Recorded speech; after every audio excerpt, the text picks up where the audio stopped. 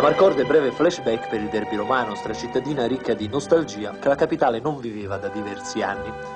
Nostalgia anche per certi personaggi che in Lazio-Roma la facevano durare una stagione intera. Erano altri tempi naturalmente, altri allenatori anche, uomini sicuramente carismatici, così come i protagonisti del tempo non tanto remoto che fu.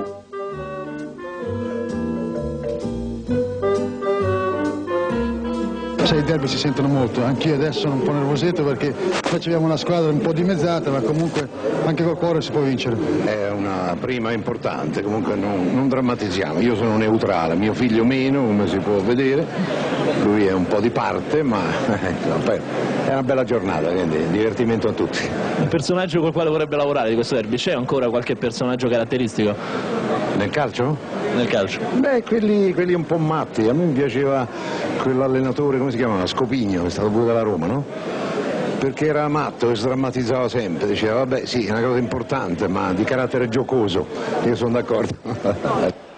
Oggi Lazio-Roma non vuol dire scudetto e non vuol dire neanche salvezza.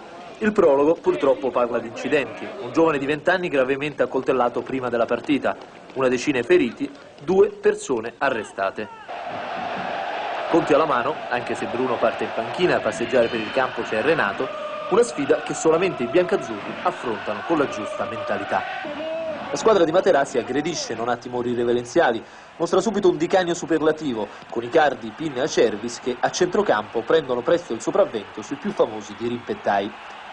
La Roma non mostra di se stessa una ben precisa identità e alla Lazio bastano 25 minuti per andare in vantaggio al termine di un'azione iniziata da Cerbis, perfezionata da Ruben Sosa e conclusa dal migliore in campo, Di Canio.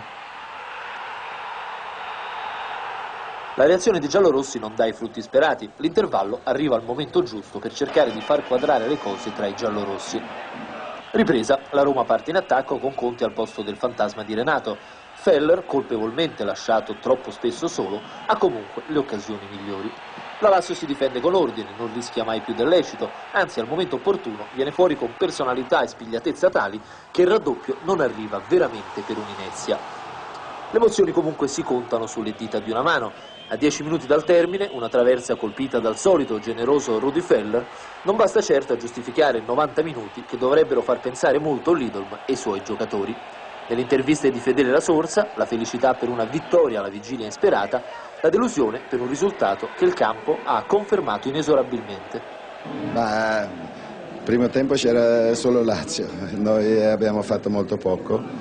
È stata una bellissima partita che ha fatto il Lazio, ha giocato con grande movimento e, e mm, ci ha messo molta difficoltà. E noi non eravamo, eravamo molto fermi, ci siamo svegliati un po' secondo tempo ma non è mai stato sufficiente, però adesso bisogna che tiriamoci fuori e di questo periodo un po' nero dobbiamo, abbiamo delle partite molto impegnative da affrontare è un programma abbastanza difficile.